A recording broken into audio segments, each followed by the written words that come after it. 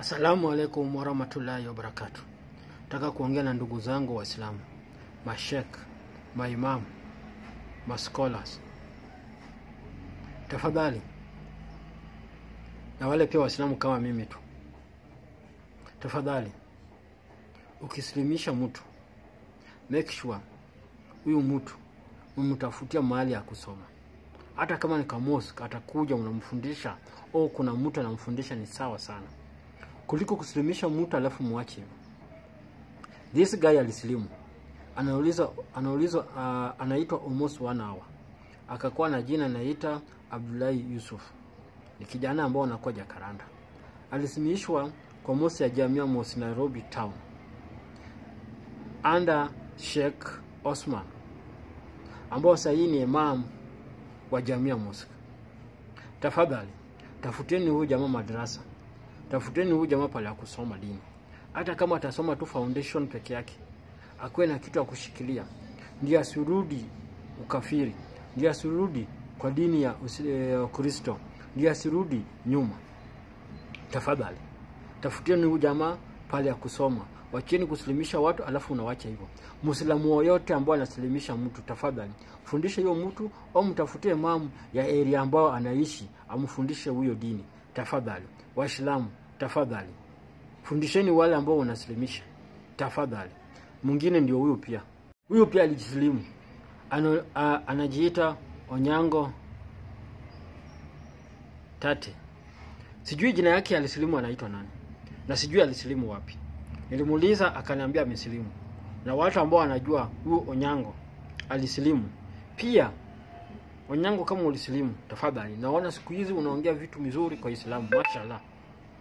Mtu yeyote alimsilimisha huyu mtu, o, kama yeye mwenyewe ako na uwezo, tafuta usome dini ya Uislamu, tafuta usome dini ya Uislamu, soma dini ya Uislamu kwa mosque ambao unaenda kila siku kiswali, au uende usome dini ya Uislamu. Hapa Mombasa kuna mashule nyingi sana ya watu wa kusilimu, mashek, marafiki, maimamu, maskola ambao wanasilimisha watu au watu wanakuja wanasilimisha. Tafadhali tafutieni hao masomo. Shule ziko hapa Mombasa, tena ni cheap. Anaweza enda boarding 3 months, 1 year, 2 year, amalize masomo yake au 6 months. Tafadhali fundisha hao watu wamesilimu.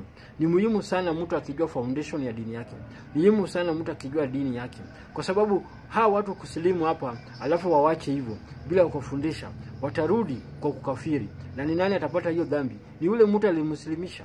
Tafadhali fundisheni na watu. Ndio huyo mwingine pia, ndio huyu mwingine pia alisilimu, anaitwa Kaspuri, akasilimu akapewa jina nani?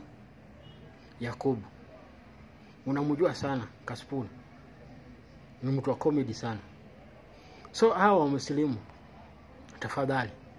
Sahii huwa wamesilimu kama Sheikh Osman sahii ni imam wa Jamia Mosque hapa Nairobi, ambao mosque ni mkubwa Kenya mzima. Hawa watu wamesilimu, tafadhali. Mashek, pe, pelekeni ao kwa madrasa, pelekeni awa wasome dini ya Kiislamu. Kuwasilimisha alafu wawache hivyo ni kazi ya bure, ni kama kuchota maji na neti. Au kuchota maji na sengenge. Please, pelekeni hao watu maso mashule ya dini ya Kiislamu.